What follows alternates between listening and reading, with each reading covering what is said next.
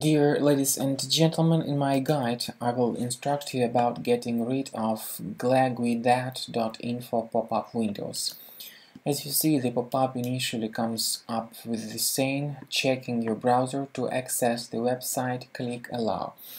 Obviously, this information is totally faulty and you should not trust it. Uh, the real purpose of this particular pop-up by Gleguidat.info is to force you into clicking on the Allow button and this is how your browser will be hijacked. This means that you will start receiving the wide range of intrusive web push notifications and they will be permanently attacking your screen and uh, disturbing you from performing important work online.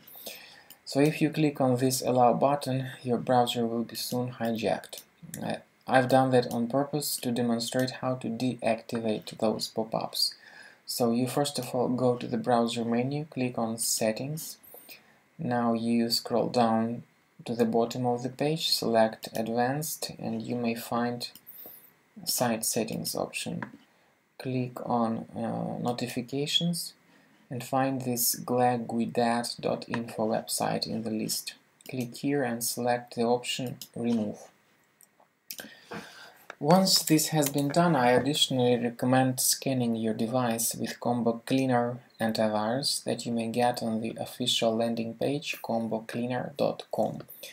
So use this website to download the software from and once the program is downloaded and installed, start it through your Launchpad. Combo Cleaner initially comes as the trial version. The trial version uh, doesn't remove malware, but it performs some free functions too, like disk cleaner, big files, or duplicates finder. You may click on Start Combo Scan button that will uh, begin the detailed analysis of your Mac. This is the end of scan by Combo Cleaner antivirus. Either you have the trial or the premium version the program works as a free scanner. It reports threats at the end of scan and helps you understand where the threats are located.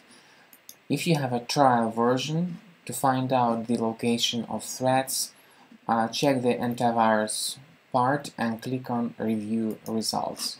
So this is where each thread in your Mac is located you may go to the uh, location of each thread separately through your Finder and remove one thread at a time manually. Or you may remove all threads automatically by clicking on Remove All Threads button, but the removal can be achieved only with the help of the premium version of the program.